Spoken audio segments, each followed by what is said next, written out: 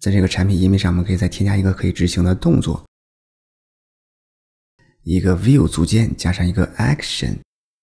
里面我们可以再包装一个 view，上面加上一个 description。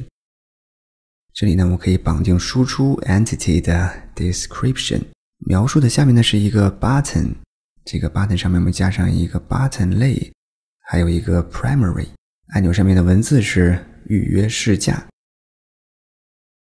下面我们再去创建一个新的样式文件，放在 styles 的下面，名字呢是 action 点 wxss。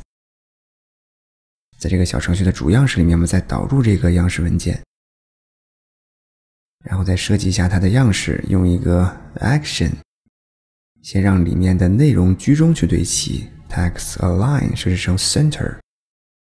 再用 padding 添加一点内边距，大小是四十八个像素。再设置一下 action 下面的 description，把这个 margin bottom 设置成四十八 rpx。